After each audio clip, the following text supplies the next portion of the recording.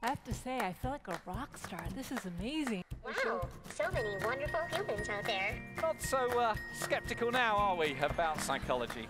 Love life and enjoy every moment.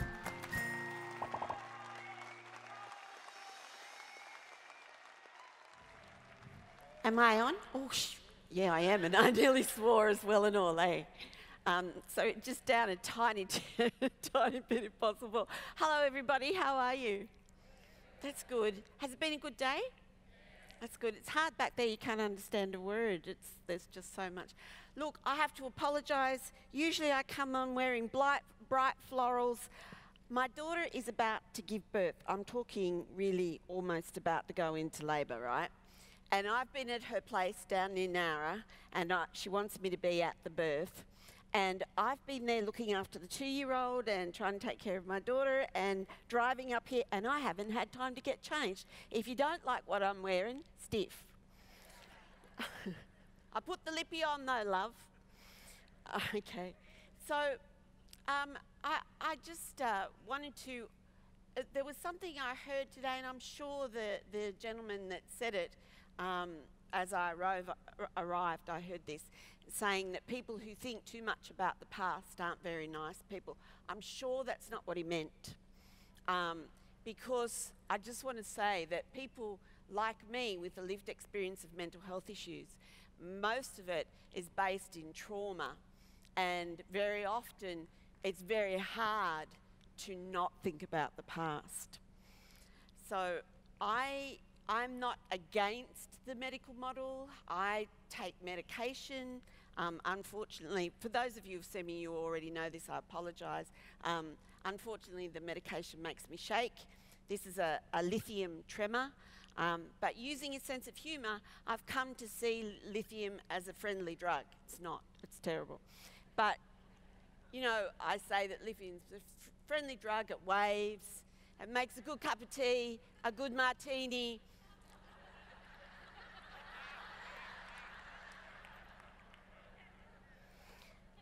I did that in a boys' school talk once.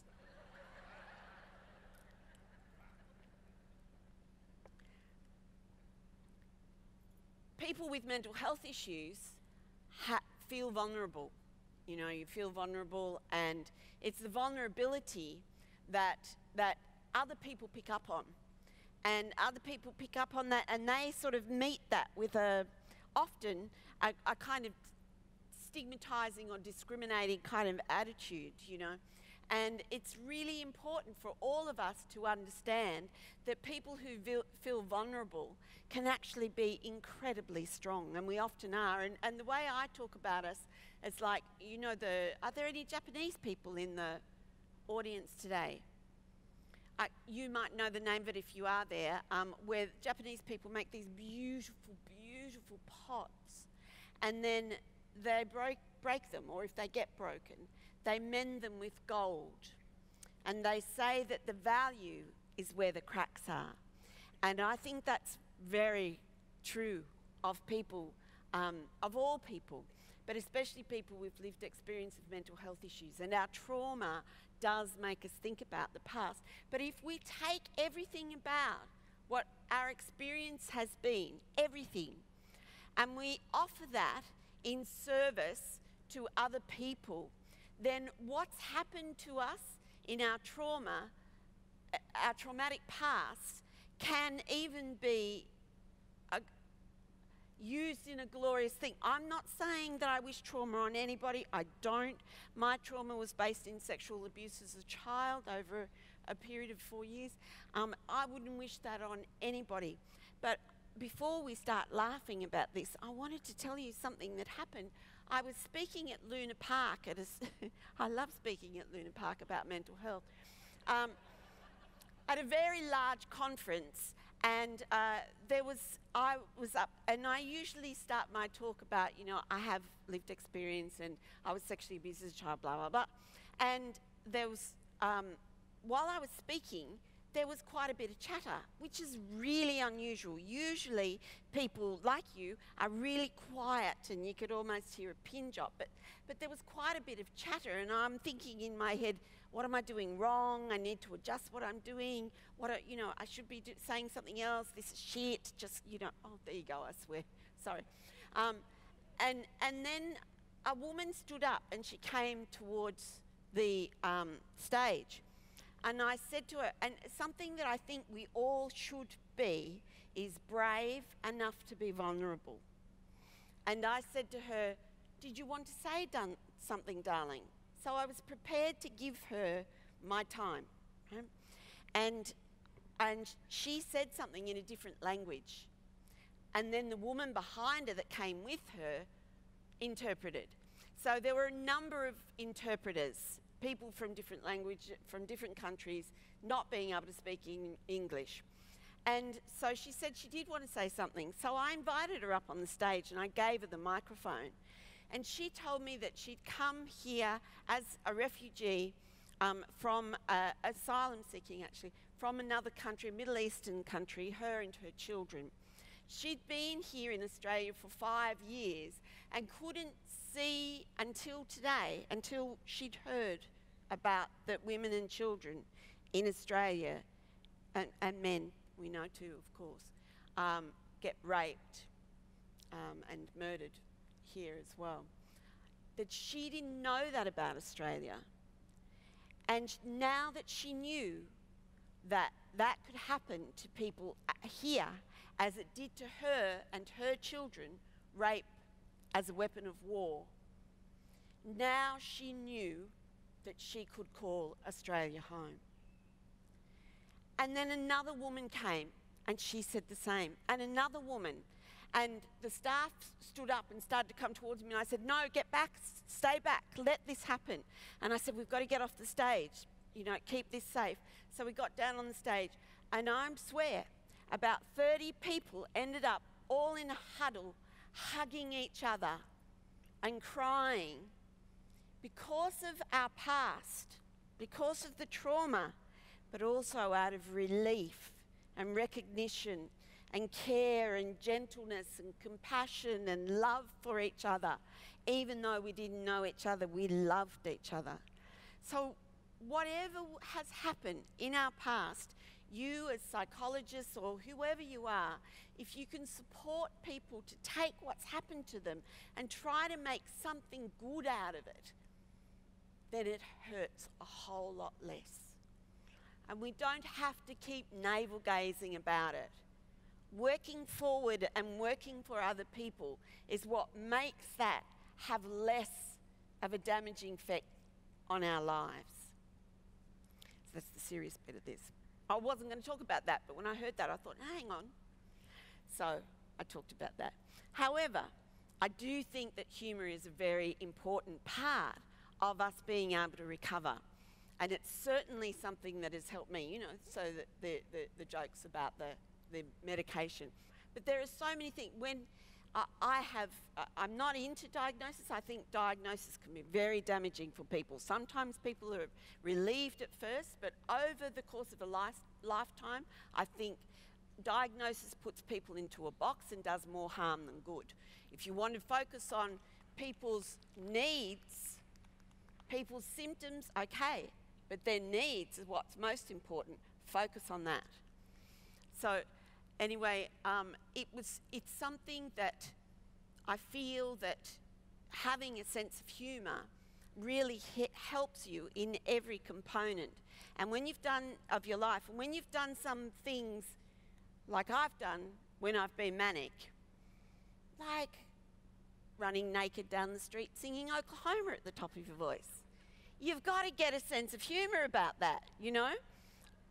You know, particularly as I get older, because when I was young and I'd run naked down the street singing Oklahoma, it would take a while for the cops to catch me, right?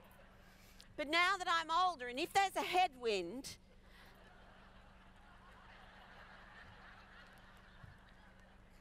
the cops don't take any time at all to catch me now.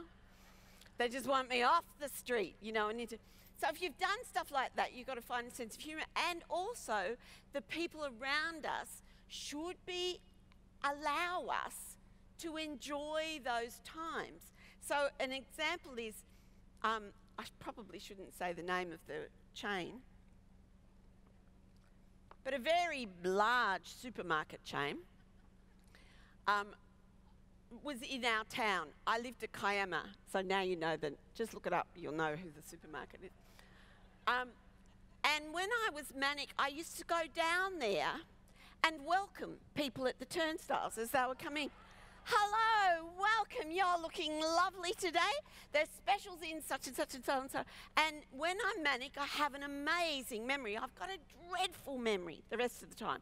But when I'm manic, I've got an amazing memory. And I would take note of everybody that came in, what they were wearing, how they felt, have very high um, ins- instinctual recognition of different types of nature and people's experience when we're manic, you know. And I would sort of absorb these people coming through into, into the supermarket and, and would decide on who would make a good partner with who else had come through. And, and, and Woolworths never moved me on. They never moved me on, which I thought was really fantastic, you know, that they didn't usher me on. And so I'd say, Oh, you look beautiful, darling. Come with me. There's somebody I want you to meet. And they would come. They would come with me. And I would take them and I'd introduce them to a man if I thought they were heterosexual. I'd introduce them to a woman if I thought they were lesbian, you know. And and get them together, you see. And they had something in common the nutter. and it was amazing. I would go back around, you know, an hour later perhaps, and those people would still be chatting. And there was another big um, corporate chain that started a hotel just next door.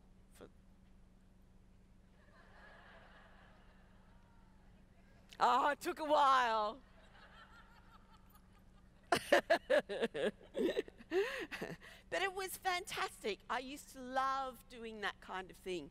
But people take us just too seriously. And when people take that too seriously, that kind of thing, when it's outside the box, outside what society thinks we should all be acting like, we've got to smack it down, we've got to squash it, we've got to poke it all in, make sure there's no, not even any little bits sticking out the top. Squash people down, they've all got to conform. Oh, bullshit. I think that's terrible. I don't think we should be conforming. I think we should be accepting people as how they are. So many other societies don't have this term mental illness. So many societies accept people who, who have what, what the medical model calls psychosis as shamans and things like that, you know. And certainly we can be tortured by our voices. you know, I experience voices and they can be, they get at my Achilles heel. You know, they really know what to do. And they can really be very active after I've done something embarrassing. I remember there was a time, um, I wish I hadn't looked up there, I'd hate this. there was a time um, I'm bald there. That's no good.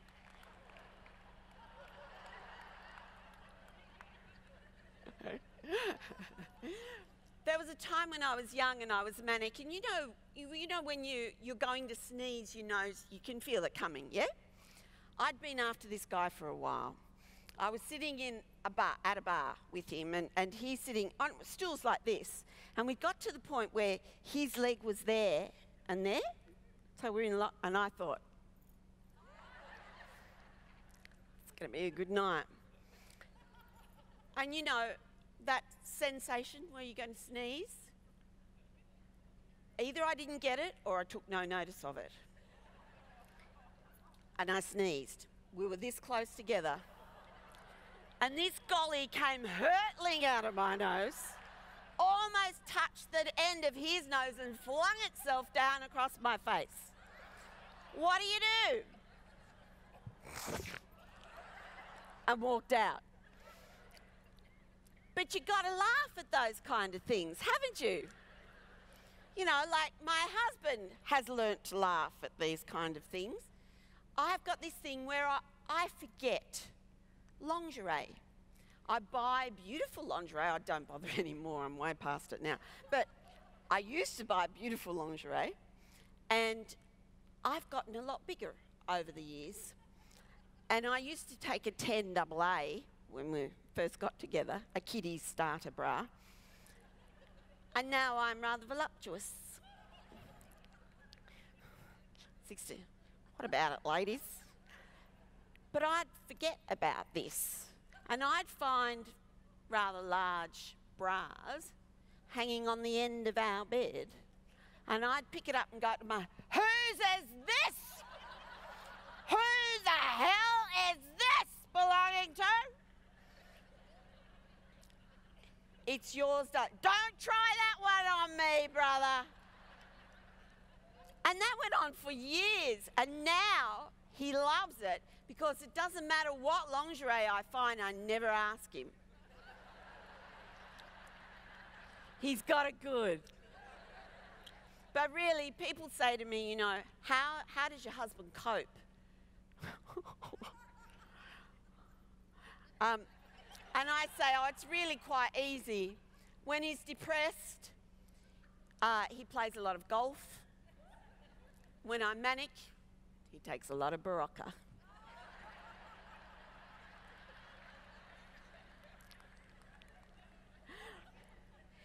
and for that reason, both he and I hate lithium.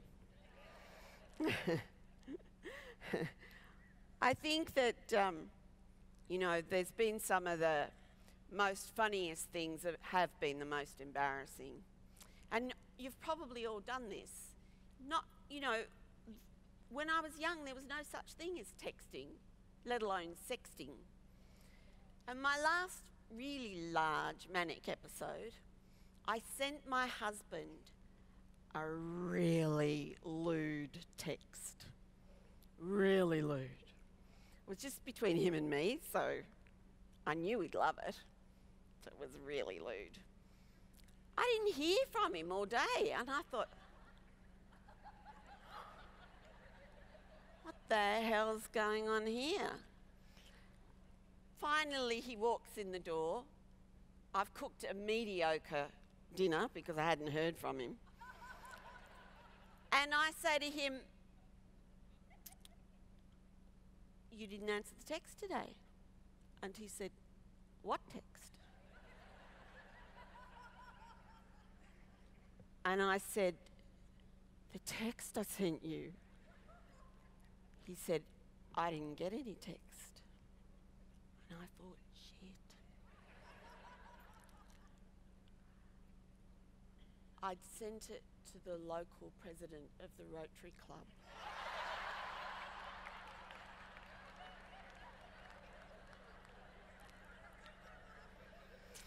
Because when you're manic, you just do things very excitably. And you don't take too much care with how you've gone about doing it. I'd sent, I, so I picked it up and I sent another text to the, to the president of the Rotary Club. And my husband said, What are you doing? And I said, I can't, if his wife or children pick that up, I didn't say George in it, I said darling. If his wife or children pick that up, how's he going to explain that? So I wrote back and I said, I'm very sorry. That text was meant for my husband, not for you. And, you know. So people with lived experience care. We care and we try to undo the damage that we've done when we've undone damage. But please help us to understand that we are tiny in this huge world that, in, that includes past, present, and future. And those little things that we've done that might have been aggressive acts, and we only ever become aggressive when we're afraid. So if you can help people to feel safe, they won't become aggressive. Okay? That's all you have to do. You do not have to call the police for them to come with their tasers and guns and you know anyway it's another conversation isn't it? Help people feel safe. Help people to laugh at what's happened. Don't laugh at them. Help them to laugh. Help them to feel inspired to use whatever they've done whatever trauma they've experienced as well to support other people help them to find a way of making meaning and purpose from everything that's happened in their lives, our lives, your lives. We're here for a purpose, and those of you who had seen me speak last time, you would know that I'm passionate about everybody. You have a duty to find and enact what your purpose is here in this world no matter what's happened to you. And I've seen when I've been in psych wards a man save a woman's life who was hearing terrible voices yammering at him, and he was trying to cope with them. You know, shut up, shut up, shut up, you know, and saw that this young woman was really, really afraid. And as he approached her, she was sitting beside me, and she was trembling from fear. As he approached her, he stopped interacting with the voices and said, I can see you. I can see you frightened, darling. I can see you frightened. I, I can see you frightened. You, you're, you're amongst family now, darling. We, will take care of you. We'll take care of you. Will take care of you. Would you like a cup of tea? Would you like a cup of tea? I'll get you a cup of tea. And she said, yes. And he, he said, how do you have milk, sugar, milk, sugar?